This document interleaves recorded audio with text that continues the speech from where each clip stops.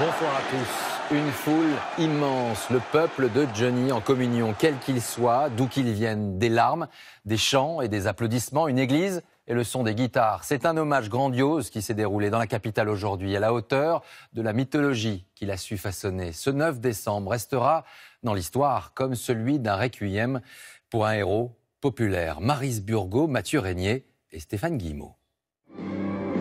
Un cortège digne d'un chef d'État. L'avenue des Champs-Élysées comme vous ne l'avez jamais vu. D'un côté, les centaines de milliers de fans de Johnny. De l'autre, ce cortège funéraire aux allures rock'n'roll. Derrière le cercueil blanc du chanteur, 700 bikers venus de toute la France. Peu de gens vont, pouvoir être comme nous euh, au cœur du défilé et accompagner Johnny euh, un petit bout de chemin. Donc euh, c'est vrai que je me rends compte quand même que j'ai de la chance de pouvoir être là ce matin. C'était une volonté de Johnny Hallyday. Un dernier spectacle, un ultime décor grandiose, cadeau de la star à ses admirateurs. La descente comme ça que j'ai vu des, motos, c'est... Je sais pas comment vous dire, j'ai une sensation de frisson. C'est bouleversant, euh, ça me bouleverse, parce que c'est un chic type. Des écrans géants sur tout le parcours, des vidéos fournies par la famille. Au passage du convoi, des centaines de roses sont lancées.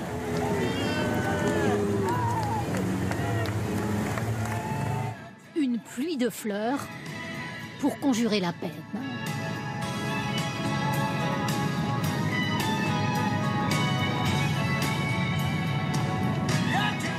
J'ai plus de 50 concerts à mon palmarès. Il euh, fallait que j'aille jusqu'au bout. Moi, là, malheureusement, c'est pas un concert. Aujourd'hui, j'ai 26 ans et je t'oublierai jamais. Repose en paix. Tu étais un dieu. Parfois, le cortège s'arrête. Les fans de la star découvrent les larmes d'une enfant consolée par sa mère. Laetitia Laetitia Hallyday et ses filles Jade et Joy suivent le cercueil. Des larmes, mais aussi de la musique à tue-tête.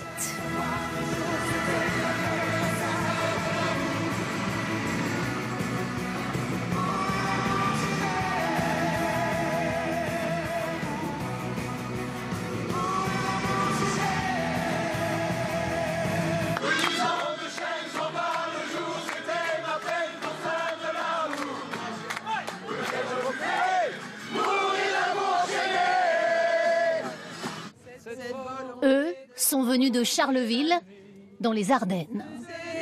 de vivre une autre vie. nous avec ces mots à lui. J'ai organisé ça sur Facebook, ça a pris une ampleur, je m'y attendais pas. Je voulais juste remplir mon petit bus. Je savais pas si j'allais remplir plus de 500 messages. Mais voilà, on a pris les gens qui se sont pressés pour prendre des places et on voulait être là aujourd'hui. Un froid glacial mais un soleil éclatant sur Paris. De l'Arc de Triomphe jusqu'à la place de la Madeleine, des milliers de téléphones brandis pour immortaliser cet adieu. Le cortège arrive place de la Concorde. Lynn Renault, très proche de la famille Hallyday, salue la foule. Dans un impressionnant silence, le cortège arrive à l'église. La foule scande le nom de Johnny.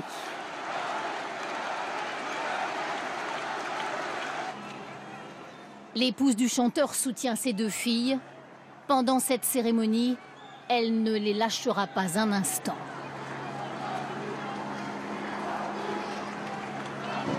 Derrière elle, le groupe compact des amis, Jean Dujardin, Jean Reynaud et beaucoup d'autres. L'actrice Marion Cotillard est en larmes. Le réalisateur Claude Lelouch filme avec son téléphone portable. Un dernier voyage grandiose pour un chanteur de légende. Un cortège de voitures qui s'est donc arrêté devant l'église de la Madeleine. La rue Royale était occupée d'une foule compacte depuis plusieurs heures déjà. Le président de la République est alors arrivé. Il a embrassé les enfants du chanteur, son épouse, et il a ensuite, en haut des marches, commencé son discours.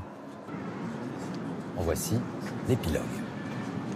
Alors au moment de lui adresser un dernier salut, pour que demeure vivant l'esprit du rock'n'roll et du blues, pour que le feu ne s'éteigne pas, je vous propose, où que vous soyez, qui que vous soyez, pour lui dire merci, pour qu'il ne meure jamais, d'applaudir Monsieur Johnny Hallyday.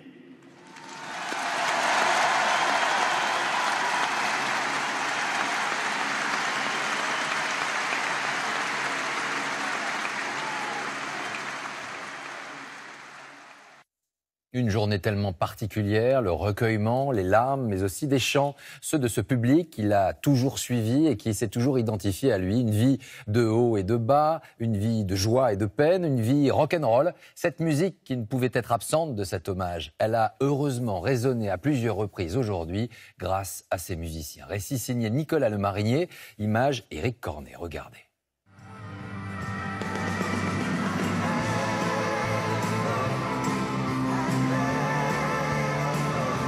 Le dernier concert, le plus beau concert. Et cette fois, ce sont les spectateurs qui donnent de la voix. Accompagnés par les musiciens de Johnny Hallyday.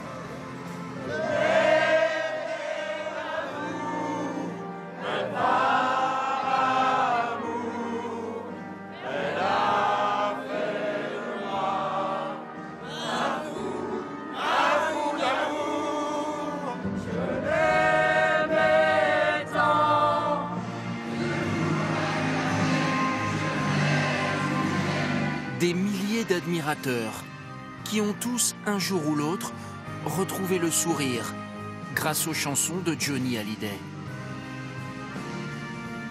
Il y en a beaucoup qui m'ont qui m'ont qui m'ont aidé euh, dans ma vie, euh, même euh, dans, dans les moments durs, divorce, machin. Et j'écoutais du Johnny. Johnny, en fait, mais pour beaucoup de gens, c'est une thérapie. C'était, euh, ils oublient leurs problèmes, ils vont au concert, ils oublient leurs problèmes. À travers les chansons, ils se, ils se guérissent. On m'a trop donné, bien avant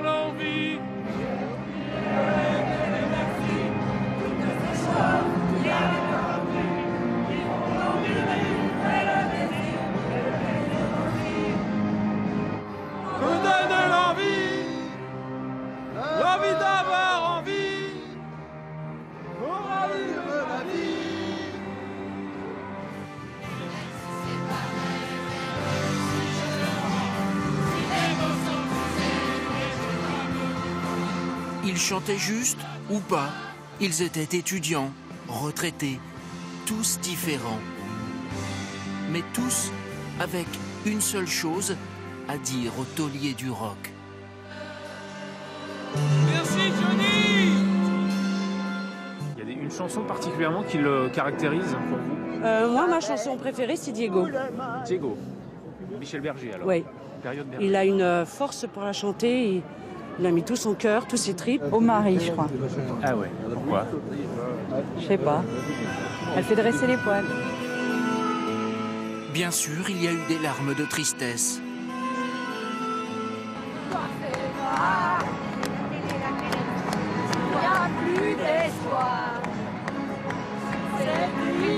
Mais aussi la joie de chanter encore une fois les tubes de toute une vie. Ça me rend fou. J'ai cru à ton amour et je perds tout. Tous rassemblés sous le regard bienveillant de leur idole, Johnny Hallyday. Et parmi nos envoyés spéciaux, aujourd'hui, Fanny Stenler a suivi pour nous cet hommage. Euh, Bonsoir Fanny, vous êtes euh, à la Madeleine. Il y a les images que l'on voit à la télévision et puis il y a ce que vous avez ressenti au cœur de cette foule. Quelle impression vous laisse eh bien, cette cérémonie? Eh bien Laurent, euh, c'était un moment extrêmement fort, fort en émotion, et cela que l'on soit fan de l'artiste euh, ou pas. Il y avait tout d'abord cette foule immense, très impressionnante, tous les âges confondus, toutes les générations étaient là. Il y avait des gens de tous les milieux sociaux, il y avait les, les rockers, les bikers, ceux qui connaissaient par cœur tout le répertoire de Johnny. Puis il y avait des gens beaucoup plus euh, réservés, beaucoup plus discrets, qui ne connaissaient sans doute pas toutes les chansons, mais qui appréciaient l'homme. Et euh, ce qui était sidérant, eh bien, c'était de constater aussi le silence dans lequel euh, s'est déroulée la retransmission de l'hommage ici, de la messe ici à la Madeleine. Il n'y avait pas un bruit, euh, place de la Concorde. Tout le monde a écouté euh, dans un silence total euh, la messe, les chansons. Il y a eu des applaudissements. Il y a eu aussi beaucoup de larmes. Et, et cette émotion, eh bien, ça s'explique sans doute par le fait que le public, cet après-midi, a vu défiler euh, sa vie, une partie de sa jeunesse aussi, réunie une dernière fois autour de l'artiste. Merci beaucoup Fanny. On va continuer, poursuivre le déroulement de cette journée, mais d'abord avec nous ce soir, euh, deux amis de Johnny Hallyday, l'écrivain Daniel Rondeau et le journaliste Guillaume Durand. Bonsoir, merci à tous les deux d'être avec nous ce soir. Euh, cette journée, elle a été d'abord Daniel Rondeau hors norme, euh, comme lui finalement, euh, avec beaucoup de musique. Elle a été rock'n'roll cette journée aussi. Oui, elle était rock'n'roll d'une certaine façon. Euh, chanter, c'est toujours arrêter le temps des hommes. Quand Johnny chantait, il apaisait certaines soifs du cœur. Aujourd'hui, naturellement, il n'a pas chanté. Ses guitaristes étaient là, comme vous venez de le dire, magnifiques, sur le parvis, puis dans le cœur de l'église, mais il n'y avait pas de chanteur. Il n'y avait plus de chanteur. Et euh, en même temps, beaucoup de dignité dans cette journée, beaucoup d'une certaine beauté, de la poésie. Et euh, tous les textes qui ont été lus étaient absolument magnifiques. Et je trouve qu'il y avait une sorte de, de symbiose, d'osmose entre les gens qui étaient dans cette bulle de la Madeleine et toute cette foule qui était à l'extérieur. Guillaume, vous étiez également à l'intérieur de cette église. Euh, on entendait cette foule chanter, on entendait résonner cette foule dans l'église. On avait vraiment le sentiment qu'on était entouré par des gens sans les voir. Euh, moi, je suis allé à la Madeleine à pied, traversant les Champs-Élysées. J'ai vu les gens qui se mettaient à chanter, qui étaient de plus en plus nombreux. Euh, mais au départ, il était quand même très tôt et tout d'un coup, on a senti pendant toute la cérémonie qui était effectivement émouvante, raffinée, inattendue, parce qu'il y a eu quand même assez peu de temps de, préparation. On avait l'impression d'être euh, d'être cerné. Et puis c'est une année assez compliquée parce que pour ceux qui aiment le rock'n'roll, on a perdu Chuck Berry, David Bowie. Donc un qui a inventé le rock'n'roll, en gros Chuck Berry, un qui l'a incroyablement modernisé, David Bowie, et Johnny, c'est la voix. Euh, c'est pas simplement une voix française. C'est quand même un homme qui a joué avec les musiciens de McCartney, le batteur de Michael Jackson, donc qui a donné à cette musique un retentissement en France euh, qui explique la foule.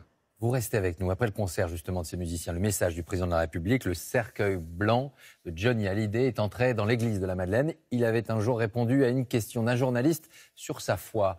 On peut me faire dire ce qu'on voudra, je resterai chrétien et je suis sûr que Jésus, lui, ne m'en veut pas. Laurent Hakim, Pascal Deschamps et Florian Lemoal. Plus qu'une cérémonie, une communion d'amis. Des amis très différents, comme Johnny et ses chansons savaient en rassembler, ceux des arts et du spectacle, ceux de la politique aussi. Dans son homélie, le vicaire du diocèse de Paris a salué l'amour que Johnny exprimait dans ses chansons. Avec toi, nous l'entendons, ce Père qui est notre Père, te dire que je t'aime, que je t'aime, que je t'aime. Amen. Après l'homélie, c'est au tour des nombreux amis de venir partager leur émotion, de parler de Johnny et parfois à Johnny. Jean Reno a commencé par un poème de Prévert, L'enterrement d'une feuille morte, qui est aussi une leçon de vie. Ne prenez pas le deuil. C'est moi qui vous le dis. Ça noircit le blanc de l'œil et, et puis ça enlaidit. Les histoires de cercueil, c'est triste et pas joli. Reprenez vos couleurs, les couleurs de la vie. Johnny nous a quittés. Oui, Johnny nous a quittés. Ce matin, dans les friches de la France abandonnée, comme dans les donjons de l'establishment, c'est le même cœur qui bat pour lui. Je t'ai aimé comme un grand frère. Je pense à tous ces gens, ce public incroyable, à qui tu as donné du bonheur pendant près de 60 ans. Le goût d'aimer, c'est toi, Johnny, qui nous l'as donné. Et tu l'as donné à la France entière. Jamais, jamais notre amour pour toi ne mourra jamais. Tu es aggravé dans nos cœurs à tout jamais. Au revoir, John. Ensemble, prions de Los Angeles à la place de la Trinité. En écho aux intentions de prière de Carole Bouquet, la musique liturgique a laissé place à d'autres rythmiques. En promesse de retrouvailles heureuses.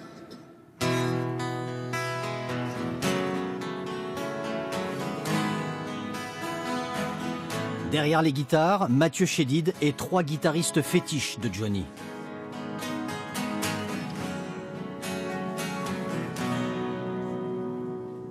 Cercueil blanc et musique noire, au son du blues, les racines du rock'n'roll cher à Johnny.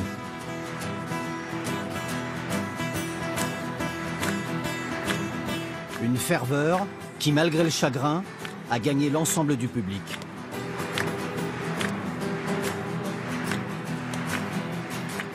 Ainsi, l'un des hymnes du rocker a raccompagné le cercueil de Johnny. Et sur le parvis de la Madeleine, pour sa dernière sortie de scène, l'idole des jeunes a reçu, comme toujours, un véritable triomphe.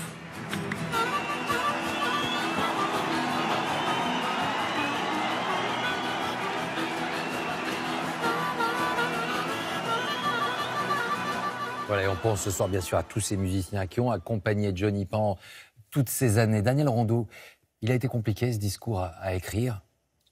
Euh, non.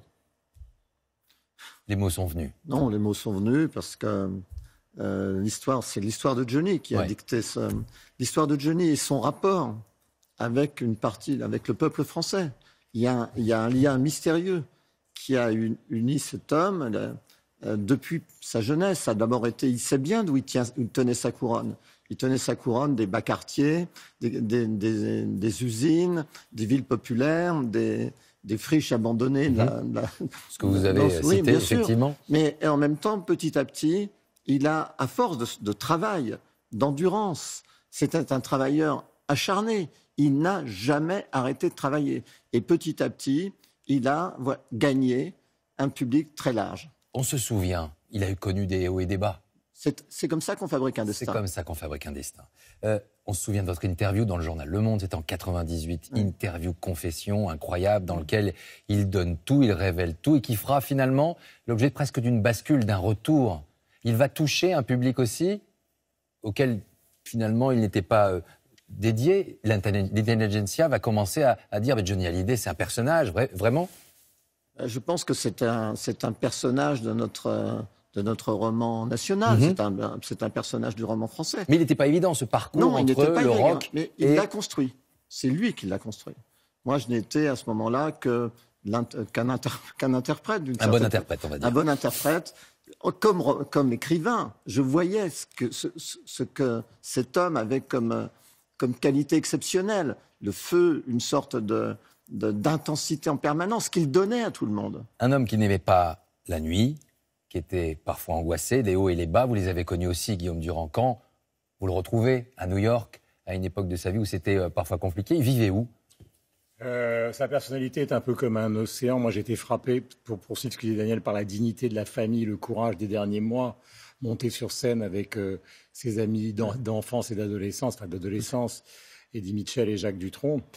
Euh, c'est un océan, effectivement, à un moment où ça n'allait pas très bien, euh, il vivait, euh, il était le seul à vivre au pied des Twin, Towers à New York, qui existaient encore, dans un bateau seul avec son préparateur physique. Donc un soir, je vais le voir, j'arrive, et, et il était dans une grande solitude parce que beaucoup de gens voulaient le conseiller en lui disant il faut que tu fasses plus de rock and roll, moins de rock and roll, plus de variété. Les producteurs étaient là, etc. Et lui, il était tout seul, tout seul à New York dans son bateau. Et euh, je lui dis en arrivant, alors c'est pas Bruel a raison, c'est pas le temps de l'anecdote, mais je peux pas résister à en raconter une, car je suis gourmand de cette vie magnifique. Et je l'appelle et je lui dis écoute, je suis complètement crevé, euh, si on peut aller dîner tôt. J'étais au téléphone. là. Et alors là, j'entends l'autre bout du fil. Si tu veux dîner tôt, appelle Sardou. Et hop, il raccroche. Et, Johnny et, et voilà. Et on a, on, a, on a été dîner, mais ce n'est, c'est- vraiment un, un océan mystérieux, un océan pudique. euh, il était très impressionnant. On va y revenir. Il y a aujourd'hui des dizaines d'images intense. Chacun y trouvera euh, la sienne ou les siennes, mais nos yeux se sont forcément arrêtés sur le premier cercle, celui d'une famille, d'un clan, les Hallyday, parmi eux Sylvie, Nathalie, Laetitia, David, Laura, Jade et Joy. Reportage Stéphanie Pérez et Guillaume Pofis. Elle arrive seule avec ses filles, derrière le cercueil de Johnny. Laetitia Hallyday, l'épouse qui l'a veillée jusqu'au bout, la compagne des bons et des mauvais jours. Sur les marches de la Madeleine, David et Laura, les deux autres grands enfants du rocker, ils l'attendent main dans la main. Devant les caméras, des embrassades émues. Et toutes les vies de Johnny réunies. Sa famille, le chanteur ne l'a jamais caché. Du roman de sa vie, ses admirateurs savent tout. Alors, ce deuil familial est aussi partagé avec le public. Sylvie Vartan, la compagne des années yéyé, est là, qui embrasse Nathalie Baye, la compagne des années sages. Tous ces visages familiers au premier rang, à gauche les années d'avant, à droite le présent, au centre la dépouille de celui qui les a rassemblés. Laetitia porte autour du cou la croix qu'il arborait ces derniers temps. Elle a géré jusqu'au bout l'image du rocker, veillé à chaque détail de la cérémonie. La veuve du chanteur garde son chagrin pour elle, comme tout son clan. Ce sont leurs amis qui parlent pour eux. Je pense à Laetitia, si forte et si digne à tes côtés. Si digne. Et à Jade et Joy, qui peuvent être très très fiers de leur papa. Le temps est venu pour tous du dernier adieu.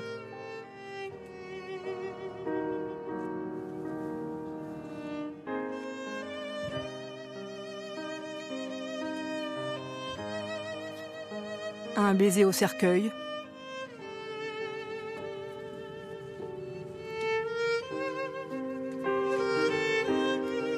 Une bénédiction. Des mots de consolation. Pour cette famille qui s'est aimée, fâchée, réconciliée sous les yeux du public, la saga Hallyday continue sans son patriarche.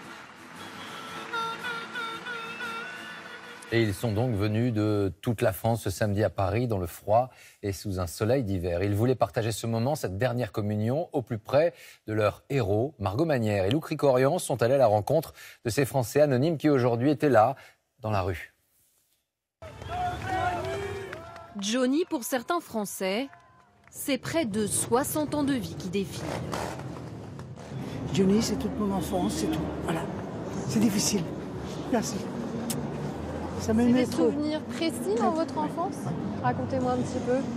Bah écoutez, euh, c'est, c'est toute ma jeunesse, ma joie, le- mes premières rencontres, mes premiers balles, euh, voilà quoi.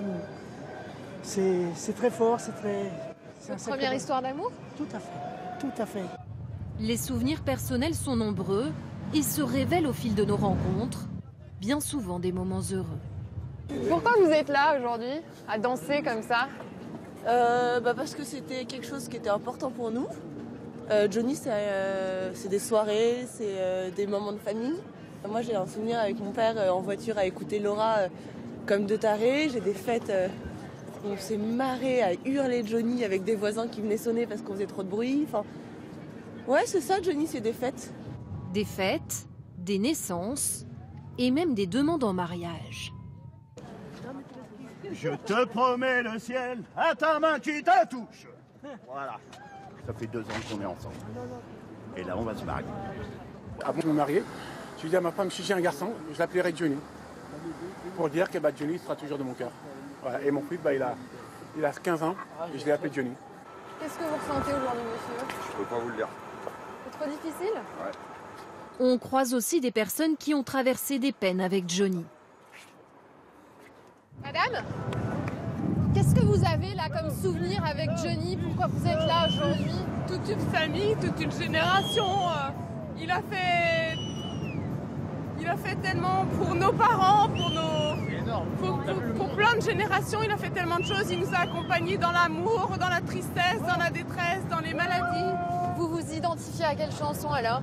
Euh, à beaucoup, euh, voilà, les chansons d'amour, euh, les chansons de donner l'envie d'avoir envie, voilà, quand on, quand on est malheureux, qu'on n'est pas bien, moi j'écoute cette chanson et ça me rebooste et je me dis non, je suis pleine de courage, je vais y aller, je vais, je vais foncer quoi. Un peu plus loin, la chanson Marie évoque aussi une étape de la vie. Quand il a chanté ça, j'étais à l'internat et quand, quand ça passait dans le bus, je voulais pas y aller et je pleurais en écoutant ça en fait. Je voulais rentrer chez moi. Donc la musique là, pour moi, elle m'a marqué. Ah bah c'était pas un bon souvenir Non, alors. c'est pas un bon souvenir. Mais aujourd'hui, toutes les générations se sont rassemblées avec le sourire T'es prête, Loane Vas-y d'amour enchaîné pour dire au revoir à Johnny. Vas-y Mourir d'amour enchaîné Ben Rondeau, dans votre discours aujourd'hui, vous avez évoqué ces mineurs en grève à Thionville. Euh, La France de Johnny Hallyday, elle va de ces mineurs de Thionville à- aux habitants de Marne-la-Coquette, euh, aux écrivains, euh, aux directeurs de presse. C'est-à-dire qu'il a réussi à faire un- à tracer ce trait d'union entre ces France-là. Oui, c'est un, un phénomène assez mystérieux en Mmh, mystérieux. même temps, puisque, mais je crois qu'on peut l'expliquer. euh, cet homme qui se réclame, enfin qui venait de rien, euh, qui est, qui s'était construit une vie d'errant, de vagabond, Enfant de la balle, toujours, oui, enfant de la par le balle, père. saltimbanque. Et en fait, je crois qu'il était très sensible au lignage du talent. Et il avait, il savait, il voulait inscrire son nom euh, dans l'armorial des, des troubadours français. Il y a trois personnes qui ont compté pour lui. Maurice Chevalier, quand il a 7 ans, il va lui demander conseil. 7 ans, c'est quand même absolument incroyable. Il lui rend visite à Marne-la-Coquette, d'ailleurs, pour lui dire Maître, je voudrais chanter, donnez-moi des conseils. Maurice Chevalier lui dit Euh, Mon petit, tu soignes ton entrée, tu soignes ta sortie, et entre, entre les deux, tu fais ce que tu veux. Bon, Johnny a suivi son conseil. Euh, le deuxième, c'est euh, Brassens. Il a chanté en première partie de, de Brassens il y a très longtemps. Et naturellement, c'était le public de Brassens sifflait Johnny. Et Brassens lui avait écrit une lettre magnifique. Il disait Mon petit, la gloire va te saisir, ça sera compliqué. Le lendemain, Johnny, pour rendre hommage à Georges Brassens, a commencé son show en- en- avec sa guitare en chantant La chasse aux papillons. C'est absolument. Et la troisième, c'est Brel, euh, chanteur français. Donc il s'inscrit. D'ailleurs, on voit à la fin de ses concerts, il va chanter du Brel, il va chanter du Piaf. On voit bien qu'il a cette. Oui. Proche de l'hymne à l'amour. Oui, l'hymne à l'amour, oui. Et, et en même temps, il va, il va faire la synthèse, c'est-à-dire euh, cette- ce, ce saltimbanque français, il rencontre euh, le rock'n'roll et il va incarner euh, les deux faces de la musique populaire d'aujourd'hui. Guillaume, on l'a vu, il a traversé les décennies, euh, les unes après les autres. Il a su se, se remotiver, peut-être pas, plutôt être à chaque fois, retrouver une forme de modernité. Il y a eu des rebonds à chaque fois. Bah, ces dernières années, grâce à son épouse, à son entourage, euh, le tour de chant a évolué vers quelque chose de clairement assez rock'n'roll. Euh, Et c'est- même dans son entourage, à chaque fois, il y a eu une forme de. Il se rapprochait des gens qui étaient, au moment où il les rencontrait, en train d'émerger. Il était comme un, une sorte de patron. Oui, sûrement. Ah, le patron, certainement. D'ailleurs, c'est un des surnoms qu'il avait. Euh, quand il participait à les émissions de télévision, la plupart Patron, de le ceux boss, qui c'est étaient, l'homme. voilà, les, les- les chanteurs qui étaient avec lui à ses côtés, qui d'ailleurs très nombreux. C'est très important qu'on rende hommage aux artistes, car aujourd'hui, c'est à la fois un enterrement et un hommage aux artistes. Ils étaient pratiquement euh, tous là. Il était considéré co- comme euh, le patron, et il a réussi quelque chose qui, moi, m'a frappé dans la cérémonie par rapport à ce que disait tout à l'heure Daniel. C'est-à-dire quand on écoutait la voix du violoncelle de Gauthier Capuçon, musique classique, puis les guitares avec Robin Le Mesurier, on s'est rendu compte que cette espèce de dichotomie française consiste à croire qu'il y a d'un côté euh, la Les culture classique et de l'autre côté une culture euh, rock'n'roll qui serait à mépriser. Johnny a, a, a- a- a tout fait toute sa vie pour que finalement il y ait une réunion considérable. D'ailleurs, il a joué avec des musiciens classiques. Dans quelques heures, la dépouille de Johnny Hallyday prendra la direction euh, du Nil, direction Saint-Barthélemy, son havre de paix depuis euh, 2008. En direct sur place, on va retrouver Jérôme euh, Boécas. Bonsoir Jérôme. C'est donc loin de la métropole, comme Jacques Brel finalement, qui lui avait choisi les, les îles Marquises, euh, que Johnny sera inhumé lundi. Oui, euh, effectivement, euh, Laurent, première information, la famille de Johnny Hallyday a affrété un avion un 757 euh, qui devrait atterrir à l'aéroport de Juliana dans la partie hollandaise de Saint-Martin demain à 13h15, 13h30 heure locale. À partir de là, il faut savoir qu'entre Saint-Martin et Saint-Barthélemy, il y a environ 10-12 minutes de vol. Donc c'est un système de rotation qui va se mettre en place pour pouvoir acheminer tout le monde ici à Saint-Barth. Saint-Barth qui aime Johnny Hallyday. Euh, on me confiait encore tout à l'heure que Johnny Hallyday est considéré comme l'enfant du pays et c'est une, une très grande fierté justement pour toute la population euh, de savoir que Johnny Hallyday euh, sera, va reposer ici au cimetière de l'Orient en paix pour l'éternité. Merci beaucoup, Jérôme.